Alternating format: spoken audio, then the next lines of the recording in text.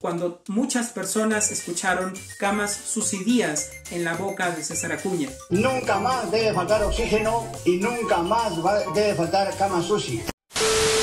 Soy Jaime Vera, quisiera hablarles un poco sobre eh, cómo se ha tomado el habla del profesor Pedro Castillo y de otros eh, peruanos en estas elecciones. Una primera cosa importante es reconocer que las personas hablan de maneras diferentes y que eso está bien entender el español o cualquier otra lengua como un manual que algunos usan bien y otros usan mal es un prejuicio muy extendido, pero que debe ser combatido por la educación formal y que eh, es equivocado desde el punto de vista científico. Entonces, no todas las personas que se alejan del estándar o de la norma eh, prestigiosa son igual de mal juzgadas.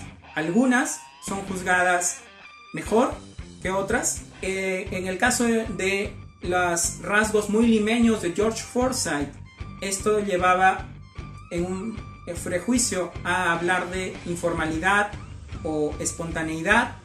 En el caso del profesor Castillo o de otros hablantes de, castellano de los castellanos andinos, se suele hacer un salto injusto a presumir poca capacidad cognitiva y poca capacidad profesional. Eso, de nuevo, es un prejuicio.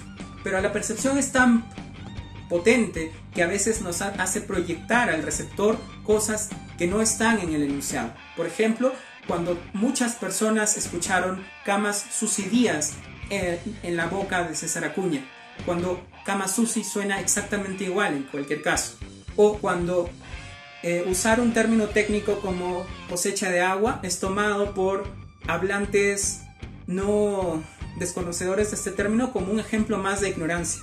De nuevo, es la percepción del receptor la que interviene más. ¿Qué hacer frente a este tipo de cosas?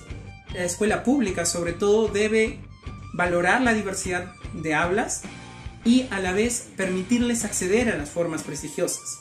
Otro punto importante es reconocer como prejuicio el asumir que aquella persona que no usa las formas prestigiosas, aquella persona que dice haya en vez de haya, aquella persona que dice comistes en vez de comiste, aquella persona que dice traendo en vez de trayendo, es una persona sin capacidad intelectual o sin capacidad profesional o sin educación eh, formal.